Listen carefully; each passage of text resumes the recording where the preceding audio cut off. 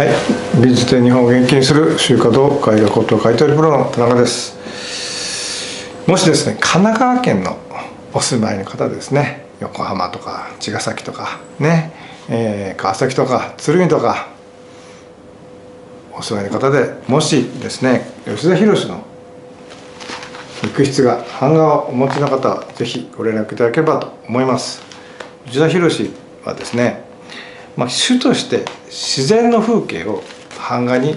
した作家でですね、まあ、自然の風景というかあの世の中の風景を版画にしたっていうので一番有名なのは何つっても広重ついで北斎ですけれども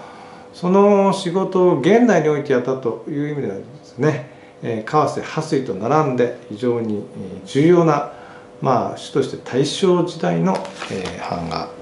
で版画といってもですねえー、江戸時代は三権分立じゃなんですけどね堀氏摺師それから絵師がいたんですけどもこの人が全部自分でやったというところがですね、えー、また特殊な人でございますね実利といって自分でするんですね。ということでですねこの吉田博のこういうですね自然を描いた素晴らしい版がございます。えー、もしですね神奈川県でお持ちの方いらっしゃいましたら是非ご連絡ください。ということで、えー、連絡先はこちらの方でございますので、えー、ぜひよろしくお願いいたします。